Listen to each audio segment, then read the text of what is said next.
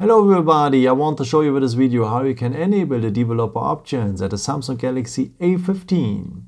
For that you will need the settings for. So just scroll down here, tap down here on the symbol for the settings.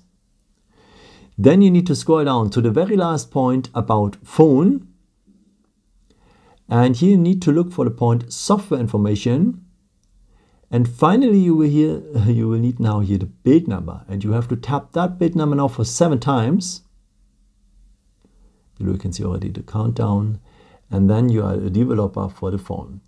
In case if the phone is asking you for a PIN code, this is the one to unlock your screen with. No? So the phone PIN. No?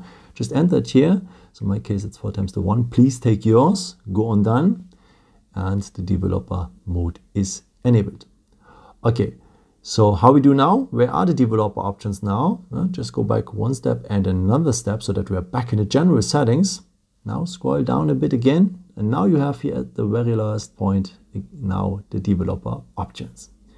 Just tap on them and I can do the stuff I wanted to do, maybe to enable the stay awake mode or the USB debugging and so, so much more.